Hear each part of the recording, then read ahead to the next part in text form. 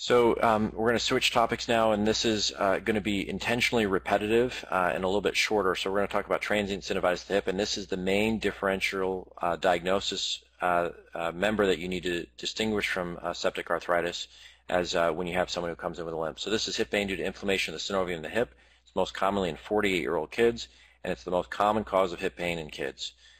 Um, Risk, risk factors, well, it's tough to know because we don't really know what causes this. However, most commonly it follows a viral infection. Uh, it can occasionally follow uh, strep uh, infection, so it would be a post-strep uh, type uh, situation. Um, but most commonly, it's had a recent upper respiratory infection, and this is the most common way it's tested as well. We don't really know what causes it. It's non-specific inflammation, hypertrophy of the synovial lining. Uh, but generally, this is quite benign. It's unlike a septic arthritis where you need to take it to the operating room. They usually get markedly improved in 24 to 48 hours with treatment of NSAIDs basically alone. And generally, this, the symptoms are completely gone by a week. So here's a five-year-old boy. He's had three days of limping and painful range of motion. He, there's no mention here whether um, that he's not able to bear weight. In fact, they say he's able to bear weight. Um, he has a limp though, and um, he has a CRP that is elevated. Again, look at the normal range here, so it's actually normal, sorry. White blood cell count is 9, so that's normal, and a SED rate that's normal. So what most likely preceded the onset of symptoms? So again, all of his Kocher criteria are essentially negative, and so um, he basically is most likely to have an, a respiratory illness or some sort of viral illness that preceded this. And this is the most common presentation for someone in the clinic that has a toxic synovitis.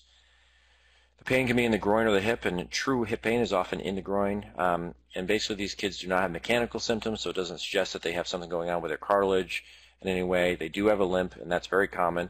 And they can have a fairly significant limp in the office. Uh, the key is that they do not have constitutional symptoms if they're going to have transient synovitis. And again, look for this recent infection history and make sure that they have not had recent trauma. Um, Basically, if you have a transient synovitis, they're going to have no real fever. They may have insidious onset of groin and thigh pain, and it usually improves during the day. However, um, it can uh, turn into a limp later in the day. Uh, again, preceding infection very common. Um, the hip, again, is going to present just like a septic hip. So if they have fluid in their, in their joint, it's going to be flexed, abducted, and externally rotated. Um, however, these kids, unlike a septic arthritis, do not have a toxic appearance. And when you move their joint, it does not have the same degree of pain that someone has a septic arthritis uh, has. Uh, they will have restriction of their motion, uh, as you would expect. You can get x-rays in these kids. Uh, we generally do just to look for any trauma or other causes. They will, again, potentially have widening of the hip joint, particularly if they have a lot of fluid in there. Um, and again, you can see that um, this um, uh, hip here on the uh, uh, left-hand side is sort of out to the side, meaning that there's a fair bit of joint fluid in that space. Ultrasound, again, is indicated based on whether or not you're concerned about a septic arthritis. So if you have more of those Kocher criteria present, you're going to be more likely to get an ultrasound. If you're if you do not, you're going to assume that this is a transient synovitis, potentially treat them uh, with NSAIDs. Um, the problem is an ultrasound is going to show fluid on both, uh, and there is real no way to distinguish between them in ultrasound, and so it's a common clinical uh, decision making to have both the fluid and the ultrasound uh, how many Kocher criteria you have, and then you uh, sort of couple this with a joint aspiration if your index of suspicion for infection is high. Um, MRI is really only used if you think there's something else going on. So if they you think they have a muscle infection or osteomyelitis, however, it's usually not necessary. In, in general, if you think you have transient synovitis, you do not need to do this. Lab values should be normal. Uh, again, because these are all nonspecific, they may be slightly elevated, uh, but in general, they're normal.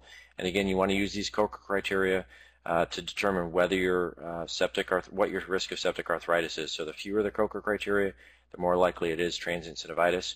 Um, and the most important factor is uh, getting that CRP, particularly if the symptoms are relatively acute. So this is the same uh, three papers we talked about before, so we'll go through them pretty quickly. But again, uh, the Kocher paper, which looks at these four uh, different factors and your risk of infection based on those, that CRP and refusal bear weight in addition to temperature, are very important. And again, CRP and weight-bearing status potentially the most important as far as di diagnosing a septic uh, arthritis. So treatment for transient synovitis is uh, basically observation and conservative treatment. If you have a low clinical suspicion of septic arthritis, you generally give these kids NSAIDs uh, with close follow-up. Uh, I often sort of look at how reliable I think the family is as well. Um, but basically, NSAIDs will solve the problem in about 24 to 48 hours.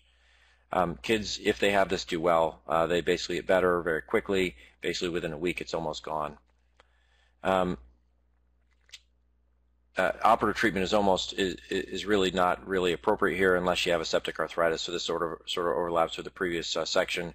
The only issue is that once in a while you will get an aspirate that is a little bit high that will lead you to uh, wash it out just because septic arthritis can be so damaging.